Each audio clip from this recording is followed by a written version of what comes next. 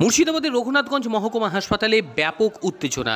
প্রসূতি মৃত্যুকে কেন্দ্র করে এই উত্তেজনা ছড়ালো সেখানে। ঘটনাস্থলে রয়েছে বিরাট পুলিশ বাহিনী। মৃতের পরিবারের লোকজনের বক্তব্য, সঠিকভাবে চিকিৎসা না হওয়ার কারণে এই ধরনের ঘটনা সেখানে রয়েছে। উত্তেজনা চরম আকার ধারণ করেছে। ইতিমধ্যেই সেখানে মৃতদেহ বের করার যে প্রক্রিয়া, সেটা শুরু হয়েছে। আর তখনই পরিবারের লোকজন সহ একাধিক মানুষজন চিকিৎসার গাফিলতির অভিযোগ এনে সেখানে বিক্ষোভ প্রদর্শন করছে। জিয়াউল হকের রিপোর্ট এনটিভি ডাব্লিউবি।